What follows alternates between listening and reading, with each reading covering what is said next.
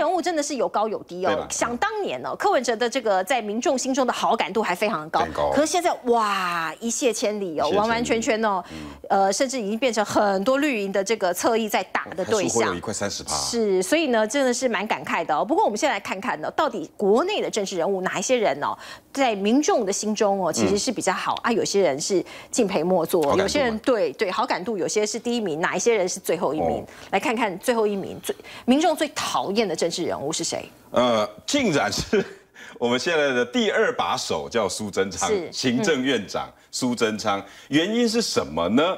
呃，其实对比其他的哈，本来啦哈，大家会以为应该不是执政者，因为或者是刚输掉的韩国瑜，对，没想到。他还排到后面呢，韩国瑜还第三名，韩国瑜还只有苏贞昌的一半呢。对，苏贞昌被讨厌的程度已经到了十五点二。而且大家要知道哦，这个做这个的哦，做这个民调是尤云龙老师哦，他是财团法人台湾民意基金会做出来，这是偏绿，就像有志讲，他是偏绿的民调，所以偏绿的民调做出来。呃，最民众最讨厌的政治人物第一名居然是苏贞昌，哇，这个苏院长真的是要好好想一想。不过我们现在也要邀请观众朋友跟我们一起讨论呢。我们现在来问问看，观众朋友，您怎么看这件事情？你最讨厌的政治人物是谁？是苏贞昌吗？请你打电话进来，我们的电话是零二二六五六二七零零零二二六五六二七零零，欢迎你赶快打电话跟我们一起讨论。嗯嗯，呃，为什么苏贞昌会是最讨厌的？那其实，在问卷里头并没有显现出答案，但是就留待我们自己可以去讨论。今天呢，呃，我访问了王世坚，嗯，王世坚他有说出他自己的看法，因为他认为哈苏贞昌太霸。太霸，阿霸的霸，对，就是他一直从政以来，像我以前就是跑苏贞昌跑八年，所以，我我对苏贞昌是非常了解的。我所听到看到的，就是不是每天骂，就是凶。凶谁幕僚？幕僚，就连我的警察朋友啊，当他的随护过，都被他骂到泡茶的时候，差点把酒杯摔在桌子上。天哪，他有扒他的头吗？我有听说，我有我真的有听说，扒随护的头。对，扒随护的头，这随护跟他随车的，你知道吗？好像不知道哪一件事没有做，他就把头给扒下去。好，看看扒了。对，我听说的。我我的我的朋友几个事件，像我这个讲了很多次的啦，像有有一个那随护一定要冲在那个长官前面嘛，免得万一有人要丢鸡鸡蛋开枪，他一定要。结果呢，我那个朋友先冲出去。那天苏贞昌心情不好，被他叫回来，空啥？我不出去，你有出去。结果按照规定，他应该要出去。结果呢，他被随从官看到，他不是比苏贞昌先出去，马上被处分一只小过。哦，真的，这就是你的下面人，你太凶，下面人不知道怎么办。真的好，我们现在赶快来听听观众朋友的意见。就是台北的黄小姐，黄小姐你好。哎，你好。是。嗯。你最讨厌的政治人物是谁？苏贞昌啊。为什么？因为他已经太老了了。哦，他太老了，太老了也哦啊，只有太老了。他讨厌你讨厌他的地方只有他七十五岁的时候，你不要年纪大是不是？年纪大乱讲话，没有好好的政策提出来，要了他干嘛？是好，谢谢黄小姐，谢谢您的电话。再接下一通电话是新竹的叶先生，叶先生你好。哎，你好。是您最讨厌的政治人物是谁？朱贞昌。嚯，为什么？因为他又。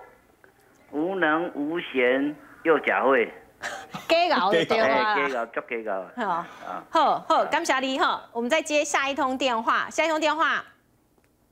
哦，看起来苏贞昌他目前为止两通毫无悬念哦。接起来你还没问，大家已经苏苏苏苏苏贞昌。我觉得苏院长我，必须还是给他一点点小小的公道了。他的确虽然他很凶哦，可是他做事是很积极的啦。好，我们再接下一通电话，这是新北的郑小姐。郑小姐你好，哎，你最讨厌政治人物是谁？苏贞昌最讨厌。为什么？呃，他做事没有能力，讲话乱讲一通。哦，听了就很讨厌。啊，你住新北市呢？那上一次这个市长选举，你有投给他吗？没有，没有，没有。那台北县长的时候你在吗？你去住新住台北县了吗？啊，苏贞昌当台北县长的时候，你已经在了吗？对对对对。啊，他你觉得他做的怎么样？哦，不好，不觉得好。嗯，所以真的看起来观众朋友都不是很喜欢苏院长哈。对对对。好，那么夏丽，谢谢谢谢。好，就是观众朋友这个这个继续打电话进来，我们接下一通高雄的赵先生，赵先生你好。嗨。是，请说。哎，我就是。你你讨厌你讨厌哪一个政治人物？苏贞苏贞昌哦，哎，这边还有很多选择还有很多选项嘞，还有很多选择。可以选别人。马英九、韩国瑜、蔡英文、柯文哲、吴思怀，要算要进一个无？苏贞昌。苏贞昌 哦，非常坚持要苏贞昌，为什么？赵先生。还有那个还有那个副总统。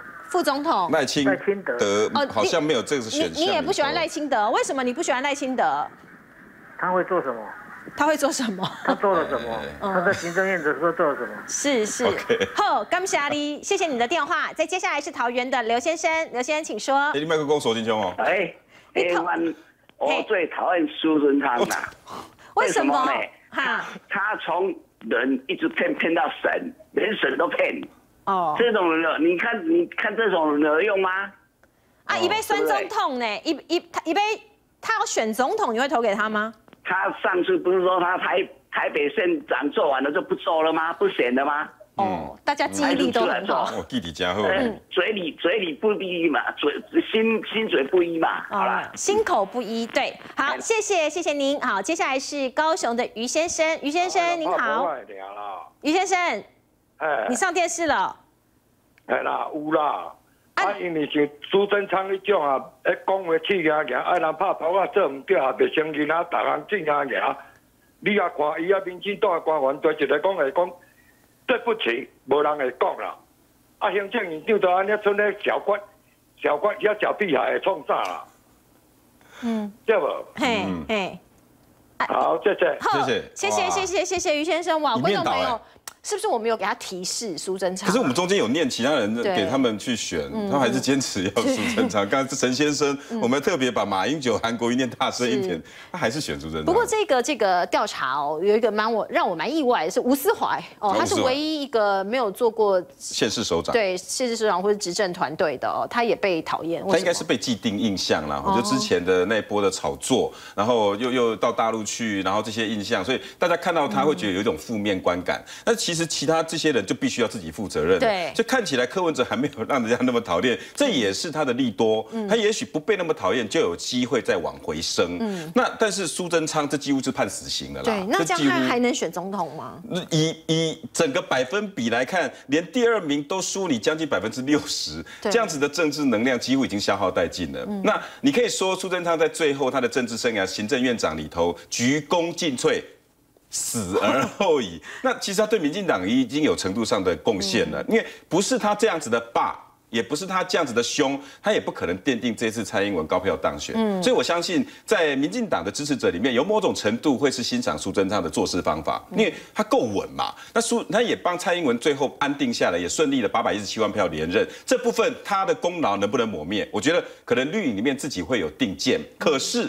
现在他到底造成的结果，就是像高雄于先生最后那一通一样，就是诶一家把诶卡小屁孩诶安诺，这个就是今天王世坚的说法，就是因为苏贞昌以前他能力还够，比如说六十几岁当台北县长，我指挥若定，我怎么凶，你听我的就对了，可能他的思路逻辑他都可以指挥若定。可是他现在已经七十五岁了，他在用同样的情绪那来指挥林佳龙、陈时中、徐国勇。还有陈吉仲，所以你会发现这几个人陆续最近在招金。王世坚的说法就是说，太凶的主管，通常员工会有一个想法啊，我努力挂顶的后啊，嗯，你讲了我再去做，免得我做什么都被你骂。包括那时候苏坤方案的时候，你记不记得？是，他自己明明先把政策推出去，嗯，结果呢被大家骂翻了之后呢，再把陈世忠拉出来啊，我那那我某地位迄个好，但我得做金来协调。结果陈时中，你要不要想想？你要不要替陈时中想想？要是你心里面会插插圈圈？是啊，所以呢，民众现在最讨厌的政治人物是苏贞昌，那最喜欢的又是谁呢？谁的好感度最高呢？哎，是蔡英文总统。蔡总统哦，其实是这个所有这个民众最喜欢的政治人物哎，是不是因为他的小编呐，常常帮他做一些粉丝页？你看，像他去闹军啊，买这个蜂蜜柠檬红茶哦，不是蜂蜜柠檬，冬瓜柠檬哦，对，付钱，然后送一些这个温馨的麻辣锅，是不是这样子让他好感度提升呢？其实前子如果你这样讲，苏贞昌的小编也很厉害哦，他的梗图跟他的那个出的那个小那个懒人包非常的快，甚至苏贞昌小编，你们去比较一下苏贞昌跟蔡英文的粉丝。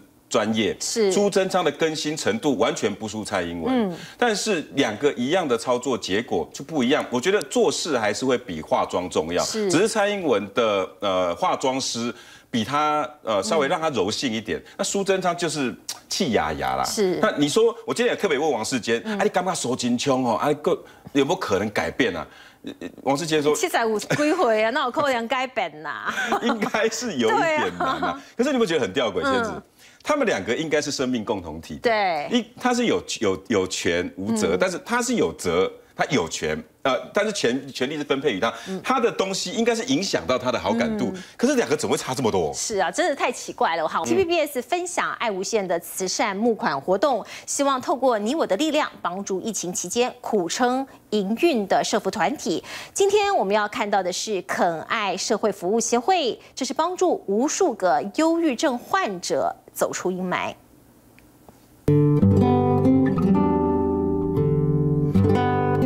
有多久没笑了？那个不舒服的时候，你连照镜都不想照，就连脸都也笑不出来，自己也不想看到自己。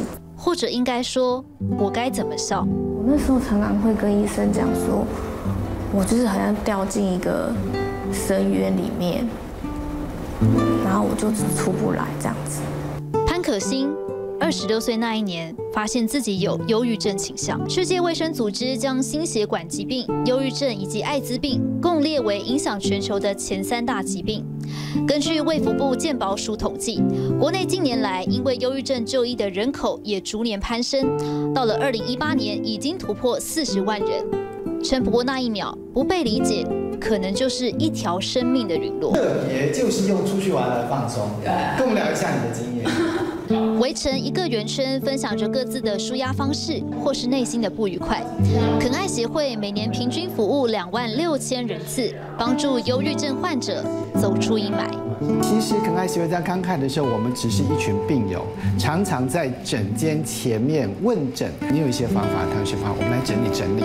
我们试着把这些方法呢重新分类归纳，然后分享经验。我可以看到协会这边的环境呢，其实是蛮简单的。那在他们这边有一间叫做活动教室，也就是我们现在要进去的这一间，里面大概呢可以容纳三十个人左右，会出借给一般像是企业来做团康活动。不过今年受到疫情影响，所以出借次数呢。大幅减少之外，整个募款状况也不是很好。协会每年所需经费，政府补助只占大约三成，换言之，超过六成都得靠募款。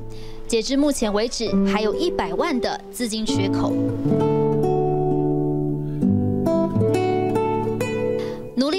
病友们第二个家的角色，希望种在他们心中的种子，最后都能绽放成美丽的花朵。即便艰辛，也要让黑暗褪去，阳光普照。